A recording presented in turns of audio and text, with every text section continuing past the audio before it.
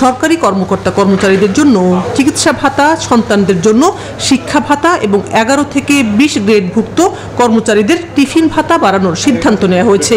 চিকিৎসা ভাতা পনেরোশো থেকে বাড়িয়ে পঁচিশশো টাকা, দুই সন্তানের জন্য শিক্ষা ভাতা এক হাজার থেকে বাড়িয়ে দু হাজার, আর গ্রেড ভিত্তিক কর্মচারীদের জন্য টিফিন ভাতা বাড়ানো হবে দ্বিগুণ পরিমাণ।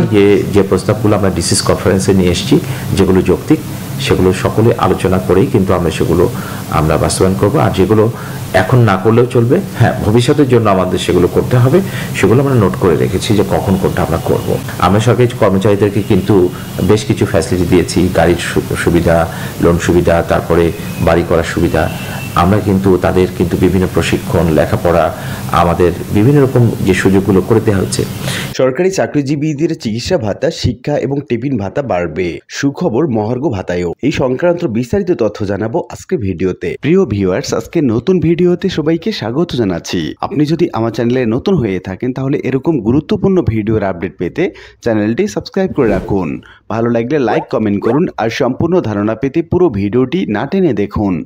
তাহলে শুরু করা যাক। অষ্টম জাতীয় পে স্কেল কার্যকর হয় প্রায় আট বছর আগে দুই সালে। দীর্ঘ এই সময় দ্রব্যমূল্যের ক্রমাগত ঊর্ধ্বগতির সঙ্গে জীবনযাত্রা ব্যয় বেড়েছে কয়েক গুণ। এই অবস্থায় পরিবার নিয়ে টিকে থাকতে হিমশিম খাচ্ছেন চাকরিজীবীরা। এর পরিপ্রেক্ষিতে নবম পে স্কেল বাস্তবায়নের দাবি তুলেছেন সরকারি কর্মচারীরা। এই বছরের জানুয়ারিতে সংসদ অধিবেশনে পে স্কেলের বিষয়ে তোলা এক প্রশ্নের জবাবে অর্থমন্ত্রী আহমা মোস্তফা কামাল জানান, অর্থনৈতিক সংকটের কারণে নতুন করে পে স্কেল দেওয়া সম্ভব নয়। একই অধিবেশনে প্রধানমন্ত্রী শেখ হাসিনাও একই যুক্তিতে পে স্কেলের দাবি একরকম খারিজ করে দিয়েছেন। তারপরও নির্বাচনী বছর হওয়ায় পে স্কেল পাওয়া একটা প্রত্যাশা নিয়ে আন্দোলন এবং সংগ্রাম করছেন সরকারি চাকরিজীবীরা। এরপরও সুখবর পাওয়া যাচ্ছে মহার্ঘ ভাতায়। অর্থ মন্ত্রণালয় এবং সরকারের বিভিন্ন সূত্র বলছে, পে স্কেল নয়, আগামী অর্থ বছরে মহার্ঘ ভাতা পাওয়ার একটা সুসংবাদ পেতে পারে সরকারি চাকরিজীবীরা। মহার্ঘ ভাতার ক্ষেত্রে চাকরিজীবীদের দাবি হলো পঞ্চাশ শতাংশ। তাদের এই দাবিও পূরণ হচ্ছে না। সূত্র বলছে, সর্বোচ্চ বিশ শতাংশ পর্যন্ত মহার্ঘ ভাতা দেয়া হতে পারে।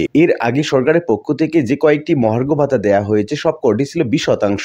সর্বশেষ দুই সালেও বিশ শতাংশ মহার্ঘ ভাতা দিয়েছিল বর্তমান সরকার। ওই সময় অর্থ মন্ত্রণালয়ের বিভিন্ন শাখার কর্মকর্তারা বলছেন, সর্বনিম্ন পনেরোশো টাকা থেকে সর্বোচ্চ ছয় হাজার টাকা পর্যন্ত বেতন বেড়েছিল। জনপ্রশাসন মন্ত্রণালয়ের তথ্য অনুযায়ী দেশে সরকারি চাকরিজীবীর সংখ্যা চোদ্দ লাখের বেশি। স্বায়ত্তশাসিত, সামরিক এবং বেসামরিক কর্মকর্তা, কর্মচারী এবং এমপিভুক্ত শিক্ষক সহ এই সংখ্যা প্রায় বাইশ লাখ। অর্থ বিভাগের কর্মকর্তারা বলছেন, মহার্ঘ ভাতা শুধু মূল বেতনের উপর দেয়া হবে, সেই হিসেবে সবাইকে দশ শতাংশ হারে দিলে চার হাজার কোটি টাকা, পনেরো শতাংশ হারে দিলে ছয় হাজার এবং বিশ শতাংশ হারে সর্বোচ্চ আট হাজার কোটি টাকার প্রয়োজন হতে পারে। যেহেতু মহার্ঘ ভাতা মূল বেতনের সঙ্গে যুক্ত করা হয় না, ফলে তাদের বাড়ি ভাড়া ভাতা সহ অন্য কোনো ভাতার উপর হেরফের হবে না। মহার্ঘ ভাতার বাড়ি ভাড়া বাড়ে না, এক্ষেত্রে নির্ধারিত সিলিং তৈরি করে মূল বেতন বৃদ্ধি করা হয়। সর্বশেষ জাতীয় বেতন স্কেলের আওতাভুক্ত সরকারি চাকরিজীবীদের মূল বেতনে দশ থেকে বিশ শতাংশ হারে বৃদ্ধি করা হবে। যদি বিশ শতাংশ হারে বৃদ্ধি পায়, তাহলে একজন সরকারি কর্মকর্তা বা কর্মচারী সর্বনিম্ন বেতন বাড়বে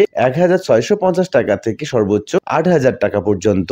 সরকারের বিভিন্ন বেতন স্কেল আওতাভুক্ত সরকারি আধা সরকারি এবং স্বায়ত্তশাসিত সংস্থা, রাষ্ট্রায়ত্ত ব্যাংক এবং অর্থলগ্নি প্রতিষ্ঠানের সব কর্মকর্তা, কর্মচারী এবং সামরিক বাহিনীর সব সদস্য এই মহার্ঘ ভাতা পাবেন। এছাড়া এমপিভুক্ত বেসরকারি শিক্ষা প্রতিষ্ঠানের শিক্ষক কর্মচারীরাও এই ভাতা পাবেন। একই সঙ্গে অবসররত ছুটিতে, অর্থাৎ পিআরএল এ থাকা কর্মকর্তা কর্মচারীগণ ছুটি পূর্বকালীন সর্বশেষ মূল বেতনের ভিত্তিতে এই ভাতা পাবেন। এখন আমরা জেনে নেই যে চিকিৎসা, শিক্ষা এবং টিফিন ভাতা যে বাড়বে সেই সকল তথ্য। চলতি বছর জেলা প্রশাসক সম্মেলনে সরকারি কর্মচারীদের শিক্ষা, চিকিৎসা এবং টিফিন ভাতা বাড়ানোর প্রস্তাব করা হয়। ডিসিতে এই প্রস্তাব আমলে নিয়ে এই তিনটি ভাতা বাড়ানোর প্রস্তাব করা হয়েছে বলে জানিয়েছে জনপ্রশাসন প্রতিমন্ত্রী ফরাদ হোসেন। তিনি বলেন, গ্রেড অনুযায়ী চিকিৎসা ভাতা পনেরোশো টাকা থেকে পঁচিশশো টাকা, শিক্ষা ভাতা এক সন্তানের জন্য পাঁচশো টাকা এবং দুই সন্তানের জন্য এক হাজার টাকা থেকে বৃদ্ধি পেয়ে সর্বোচ্চ দুই হাজার টাকা এবং টিফিন ভাতা গ্রেড অনুযায়ী দুইশো টাকা থেকে দুই হাজার টাকা পর্যন্ত বৃদ্ধি হতে পারে। এই প্রসঙ্গে জানতে চাইলে জনপ্রশাসন প্রতিমন্ত্রী ফরাদ হোসেন বলেন, নতুন পে স্কেল দেওয়ার কোনো পরিকল্পনা সরকারের নেই, তবে চিকিৎসা ভাতা, শিক্ষা ভাতা এবং টিফিন ভাতা গ্রেড অনুযায়ী বাড়তে পারে।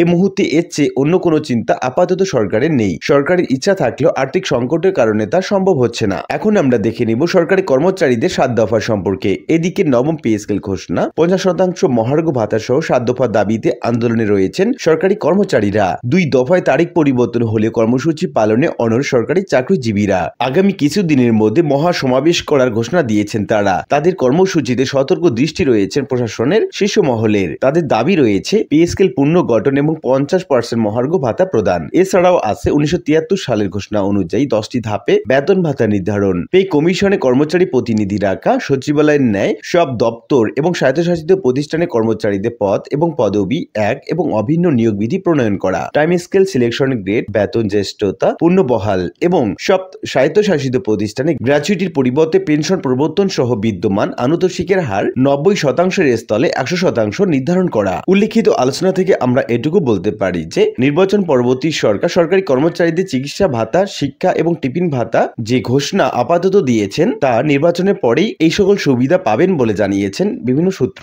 আশা করি বিষয়টি বুঝতে পেরেছেন। আর আজকের ভিডিওটি এ পর্যন্তই। আশা করি ভিডিওটি আপনাদের ভালো লেগেছে। ভিডিওটি ভালো লাগলে লাইক, কমেন্ট করতে ভুলবেন না।